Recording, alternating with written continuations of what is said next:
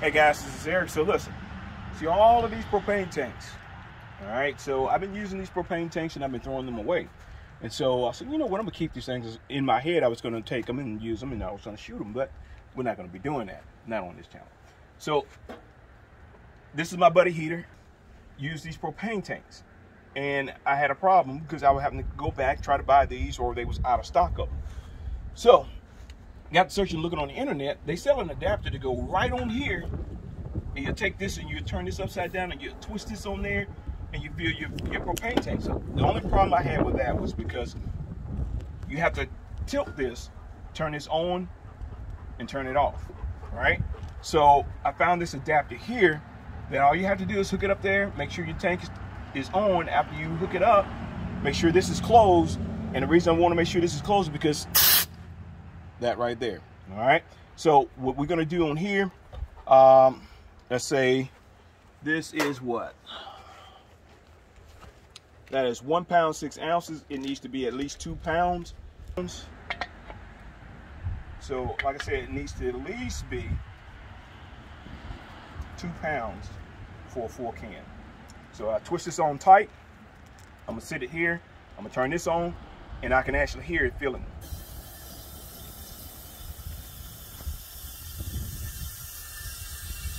So we're gonna let it fill and then we'll weigh it. Instead of throwing these things away or using them on my shooting range, I can repurpose and reuse them with no problem at all. Um, once I finish hearing that airing in, because it's still airing up, once I hear it stop, I'll unhook it and I will weigh it and see what it weighs.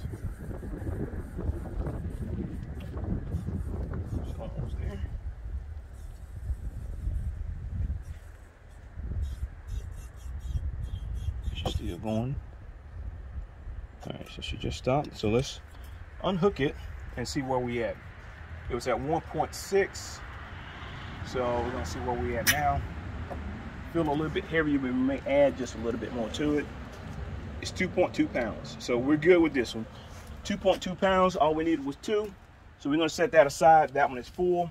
And so we're gonna be, all of these that's left on top of here, that is what we're gonna do with all of these. We're gonna fill them all up.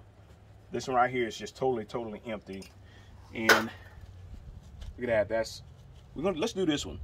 That's one pound. One pound is the bottle.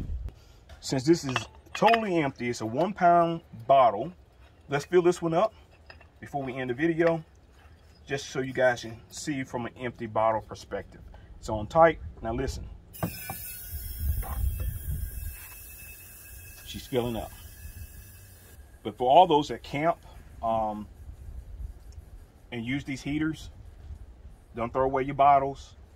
And I know Texas last year, last winter, um, a lot of people wanted to go out and buy these and they had a problem finding propane. Uh, my suggestion is if y'all can go out and buy three or four of these tanks here and keep these filled up and just fill up your small tanks if you're using your buddy heater in the house. Um, they're supposed to be safe to use indoors. Um, I've used mine inside the Humvee with no issues, no problem. This saves you money, guys. I mean, you go out and you buy these things. These things just range from different prices, just depending on where you get them from. Um, you can get them single, you can get them two, or you can get them in a three pack. Um, and they just vary in the price.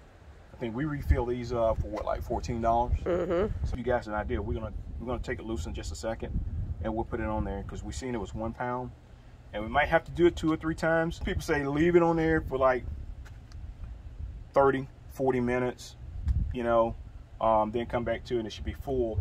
Let's see where it's at right now. It's at one pound. So we had one pound, 14 ounces.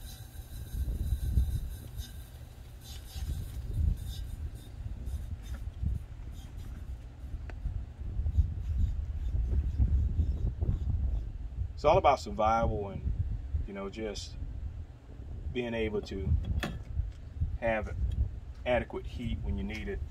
Um, again, whether it's camping or anything like that, you know, you want to make sure you got it.